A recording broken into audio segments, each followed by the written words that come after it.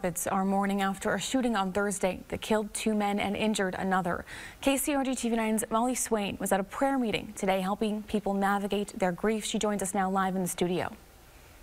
One of the pastors I spoke to today said that people get tired of repetition, the same grief, the same prayers after gun violence. But she also said people learn by repetition. And so as the violence continues to happen, she'll continue to let her voice be heard. Amen.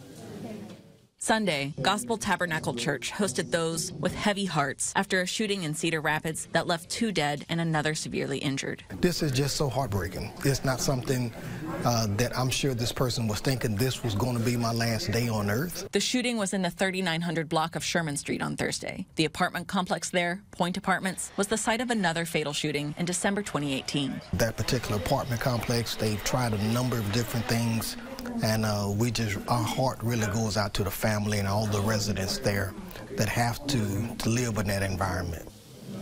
The prayer Sunday, not just for those who lost their lives recently, but in the face of violence, these leaders said they've seen far, far too much of. We have too much gun violence in the community. This is becoming such a frequent thing that we're dealing with. During the meeting, pastors from a number of churches spoke, both offering words of comfort and pleas for change. We got to give people options and, and alternatives to, to, to make decisions about their life and things that they can do.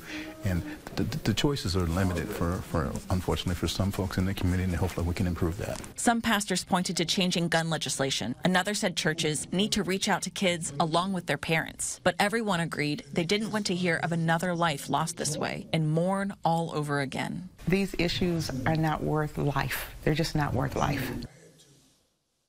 No arrests have been made following Thursday's shooting. Cedar Rapids police have said this is an active, ongoing investigation. In the studio, Molly Swain, KCRG TV9 News. Thank you, Molly.